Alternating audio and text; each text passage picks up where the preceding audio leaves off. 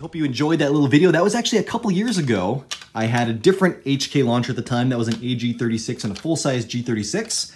This is a GLM or the XM320 model, and I've still got a G36, but it's a G36K now. These things are really friggin' cool.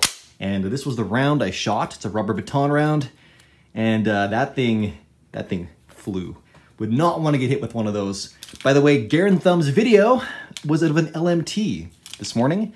I have one of those as well, but mine is a stock, so it's a short barrel grenade launcher. Oops.